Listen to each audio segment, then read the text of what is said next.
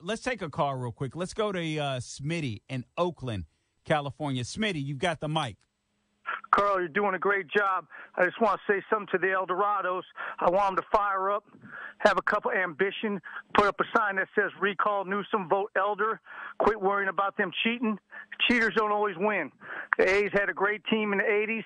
The Dodgers beat them. They were cheating with steroids. Cheaters don't always win. Larry was telling us about his pop. His pop worked two jobs and got after it.